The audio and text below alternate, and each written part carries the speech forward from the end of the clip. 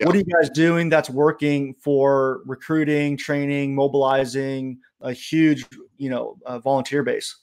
Well, let me let me say this: if um, if there are people that are watching this or listening to this, and they're struggling to get as many volunteers as they would like, I want you to know something.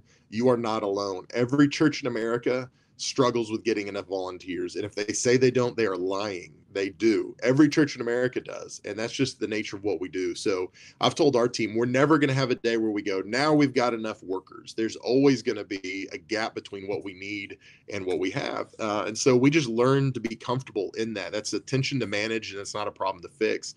Um, so, you know, we do like a lot of churches do we have growth track and that's been a great pipeline for us to get people connected um, in our church, if you don't serve, you cannot be a member. So that's been effective in helping us because if you want to have a baby dedicated, if you want to get married in our church, if I mean, you know, if you want to have a say, if you want to be able to teach, if you want to be able to be on the worship team, you have to be a member. And so those are all things that we just say, hey, you don't you don't have to become a member, but here's here's what you get for being a member. Here's the benefit of us, you know, walking together in covenant. Uh, and so that's helped. But really, we never, ever, ever, ever, ever do cattle calls from the stage where we go, hey, we need a bunch of workers for kids ministry, sign up. Because what happens is the wrong people sign up for that. And so for us, um, our teams have just gotten real creative in um, in in how they invite people onto the team. And we never, you know, it's about our language. We never say things like, hey, you wouldn't want to help come change diapers in kids ministry, would you? Because the answer is no, they would not want to help change diapers in kids ministry. Uh, but what we do is we use language of, inclu- uh, of inclusiveness and uh, community. And so we'll say things like, man, I love serving in kids. Why don't you come serve with me sometime? Come check it out sometime. Come serve alongside me. Because then we're inviting them into something. And so, you know, we've we've done that and some of our team members are do it really, really well. And some of them are still struggling with that a little bit. Um, you know, one of the things that I think some of our team members have done really well here is they haven't shied away from high capacity leaders.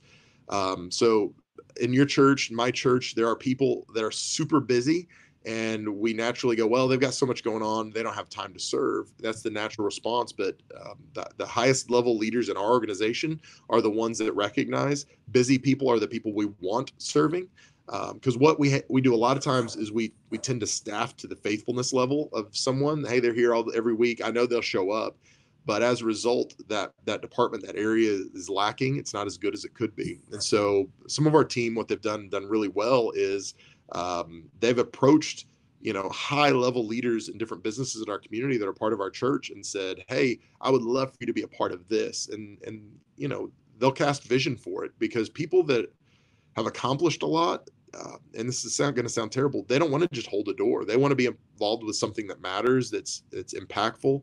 And so um, I've got high level leaders in our community that are involved in our church serving in different areas, and it's because our team members have said, "Hey, I've got this area that you could really be effective in. Why don't you come alongside us? Why don't you serve in this?" And they cast vision for it. They help them see the value and the importance of it, and um, and they lay something down to be part of something that's to them more valuable. And so it's at the end of the day it's a numbers game overall with volunteers. Um, if you need if you need 100 volunteers on a weekend you better be asking 300 um, and if you're not you're going to be lucky to get 100 uh, and so for us you know we've got i don't know 350 volunteers regularly and then another 150 or 200 probably that serve a couple times a year.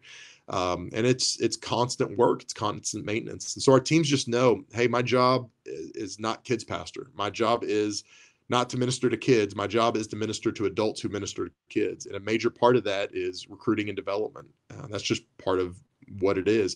So even when we're hiring we bring people on we set good expectations for what we want what we expect to see and um, and that's part of it uh, so I don't know if there's a magic answer there, but like you know, growth track has helped. Um, individual communication, you know, putting tools in, in our in our team's hands to help them invite their friends, invite you know people that are interested in those areas. All that stuff is helpful, but there's not a magic bullet. Uh, there's no such thing. Yeah. So for those aren't familiar with growth track, unpack that a little bit. Yeah, so um, you know, Church of the Highlands, I think, is one of the originators of Growth Track, um, and uh, all their resources are free on their website, and it's great. I mean, and they will help you.